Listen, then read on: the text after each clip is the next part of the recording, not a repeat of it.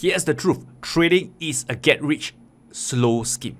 Now, you might be thinking, but Rainer, I've seen people take a thousand dollars account and turn it into one million within a short period of time. Here's the deal, right? Traders who manage to successfully pull that off probably have risked a lot, right, in their account, taken huge risks, right, to get to where they are. And if you were to do this, right, 99.9% of you watching this video now will likely blow up your trading account. That's the truth. That's the math. That's the st statistics out there. So the way to approach trading is to regularly add funds into your account. Let your age play out and slowly compound your returns. That's how you make it big. Remember, trading is a business. You don't take a $100 business and then turn it um, into a million dollars within two weeks. Same for trading. You don't take a $100 account and hope to turn it into a million in two weeks.